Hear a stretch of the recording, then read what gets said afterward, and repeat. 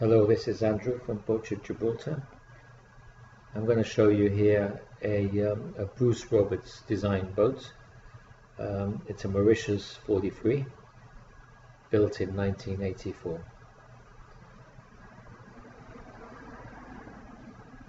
She's a steel boat.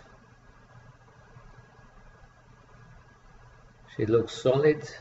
There are some areas of surface rust that need to be treated but overall she seems a strong boat with ample accommodation.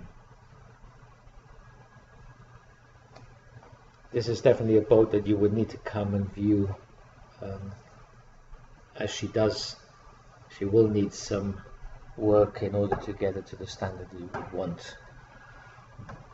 So please after viewing the video, if you remain interested and wish to arrange a viewing, please do contact us directly. Thank you.